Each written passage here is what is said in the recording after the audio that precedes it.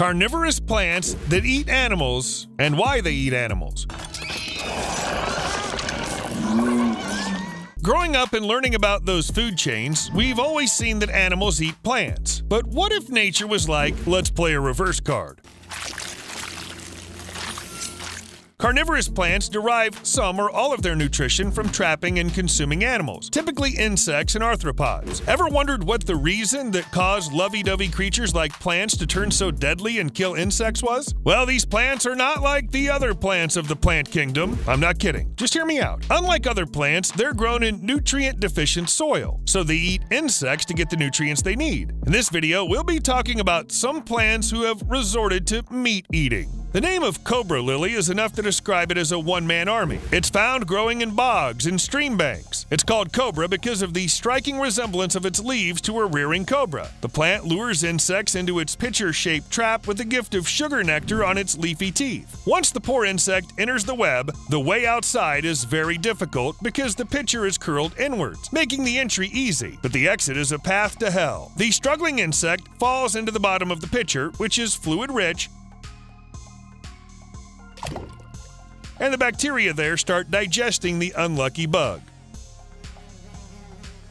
Talking about digesting, let's take a look at a plant shaped like a bladder. Just how the bladder is shaped. The bladderwort plant has characteristic small hollow sacs. Its prey traps are tiny bladders that are located on its stems. So when an oblivious organism touches hair-like triggers attached to the bladder trap door, the plant immediately sucks water with the speed of lightning, and the damned organism is ready for its demise. Also a fun fact is that the bladderwort snaps shut so quickly that it's almost impossible to see it with a naked human eye.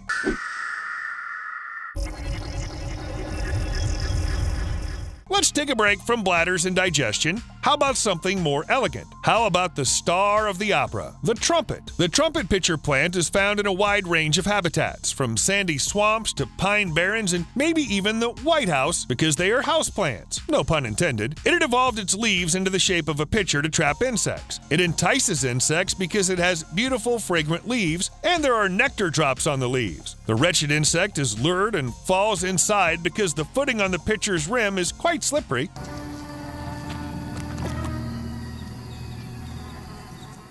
We've talked about operas, the most sophisticated place. Oh no!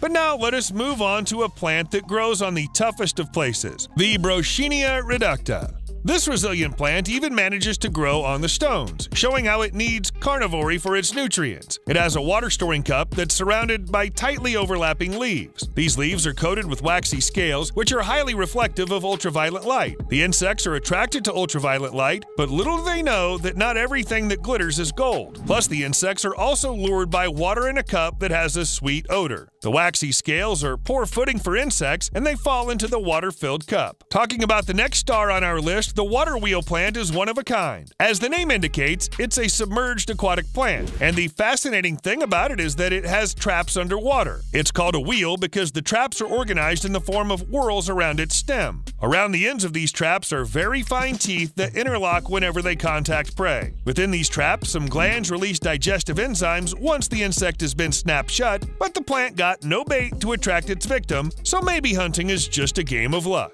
Okay, guys, coming back to the topic, because we've got another honorable mention the sundew. The plant has long tentacles that protrude from its leaves, and along the edges of the tentacles are nectar drops that glimmer like dew in the sunlight. Being attracted to nectar, the insect lands on the tentacles and gets stuck because the plant produces an adhesive that won't let the insect go.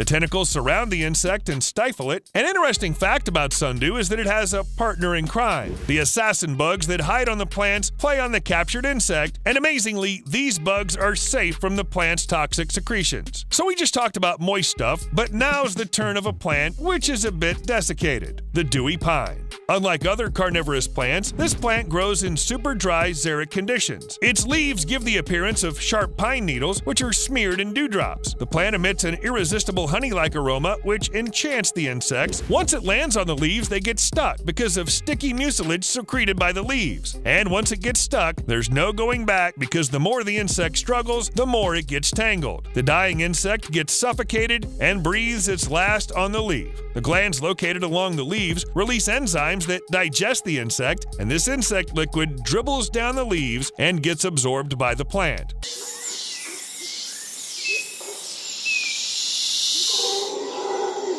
Probably thinking how all these carnivorous plants got the same sounding names, but not the next one because it has such an amusing name moccasin plant. This plant has quite a funny second name, and that's pink lady slipper. It's so called because it has a short underground stem. It grows in a wide variety of habitats from deciduous woods to mountaintops. It lures insects by sweet nectar into its moccasin shaped pitchers, where the unfortunate insect dies a slow death. To further distract the insect, the plant has translucent cells, which cause the insect to knock itself silly while having an unsuccessful escape. Let us move to another plant with a compelling backstory to its name the tropical pitcher. Amusing how this is such a deadly plant, but got such a cute nickname monkey cups, because occasionally monkeys drink water from the fluid in its pitcher. When it comes to the king of carnivorous plants, the tropical pitcher holds the crown. Its pitcher, swelling in mid vein of the lead, is so huge it can hold three quarts of liquid and devour lizards and even small rodents. Its pitcher serves as traps, and the organisms are attracted by nectar secreted from the underside of pitches.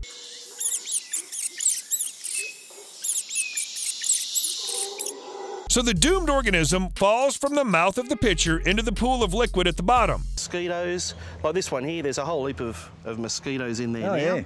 yeah. Um, The organism's escape is made grueling by the downward pointing hairs. The drowned organism is eventually digested by the enzyme. And now comes the real smasher of the list the Venus flytrap. You must have heard the name of this plant before. These plants even enthralled Charles Darwin, as he called them one of the most wonderful in the world. But sadly, this plant is slowly going extinct. It captures the attention of insects by the reddish margins of its leaves and by secreting sweet nectar. The leaves' edges have teeth, and when the leaves snap shut, they form a trap. But the amazing thing about this plant is that if a fly lands on a fly trap, it doesn't clamp right away.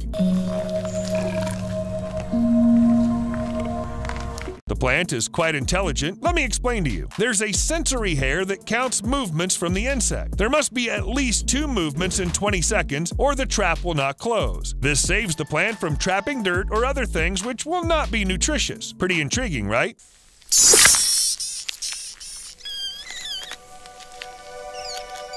And these two movements are the last safe movements for the insect because at the third movement, the plant starts secreting digestive fluids. Alas, the insect becomes a meal for the plant.